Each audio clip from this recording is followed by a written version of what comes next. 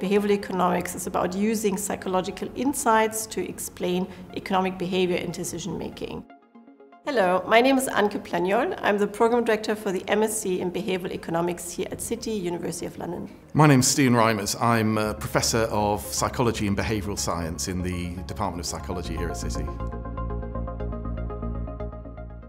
Our students come from all sorts of backgrounds. Quite a few of our students have a background in economics or psychology. But it's really interesting seeing that sort of melting pot of ideas where, you know, we're right in the middle of London. We've got people who are going back to their day jobs the rest of the week and then bringing the ideas from that into the discussions that we have on the programme here. And often we have students completing dissertations in their area of work. Week one, we have the induction session where we found out what people were doing before they came on the course and why they're interested in doing it.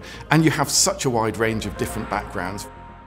I think what's quite unique about our program at City is that we have lectures from two departments. So we have lectures from the psychology department, like me. We also have lectures from the economics department. We make sure that people who haven't studied economics before know about economic theory. People who haven't studied psychology before understand how the mind works. And once they've got that grounding, we can then develop in parallel sort of economic and psychological insights. All our lecturers are active researchers in behavioral economics. So we try to make sure that our learning is quite hands-on. So for example, when we teach statistics, we don't just look at theory, but people look at real data. Some of the data are data sets that I collected in my own research or my colleagues did.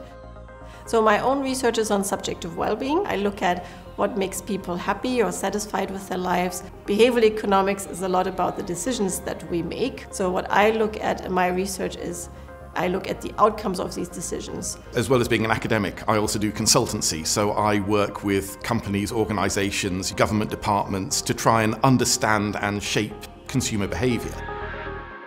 A lot of people really respond to being able to cover both the economics and the psychology and then put it into practice. And if all of that sounds interesting, then this is the course for you.